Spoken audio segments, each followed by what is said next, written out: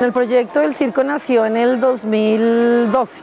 Empecé a preguntarme hasta dónde la clase que yo les daba de educación física realmente les servía para la vida de ellos, porque yo puedo dar mi clase, pero allá afuera qué pasaba con lo que yo les enseñaba. Entonces yo misma empecé como a cuestionarme lo que yo estaba haciendo, cómo lo estaba haciendo y por qué lo estaba haciendo.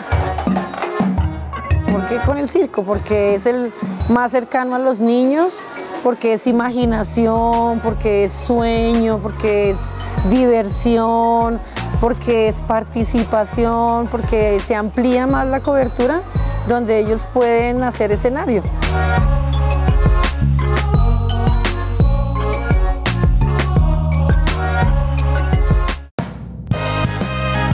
Y el proyecto del circo incluye la parte motriz, las mismas habilidades que son de equilibrio, coordinación. Entonces, en lugar de trabajarlas de manera como repetitiva o dirigida solamente al deporte, ese mismo trabajo se le da significado con el circo. Antes de empezar, mis hijas en el circo eran muy tímidas, le tenían miedo a mostrarse, a bailar, a presentarse en algún sitio. Cuando la profe decidió realizar el proyecto del circo, ya ellas se desenvuelven mejor, ya no son tímidas, muestran lo que son.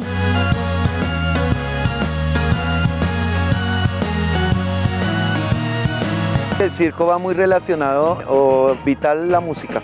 Si ustedes miran los circos profesionales, el Soleil y todo tiene su parte musical, músicos profesionales.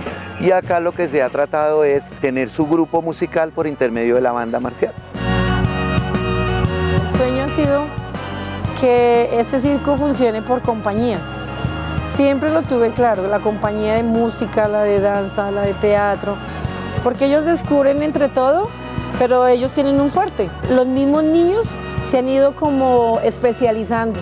Entonces, ese sueño se está convirtiendo en realidad, poco a poco. Yo aprendí a hacer en, el circo a respetar a las personas, a no ser grosero, a saber escuchar y respetar.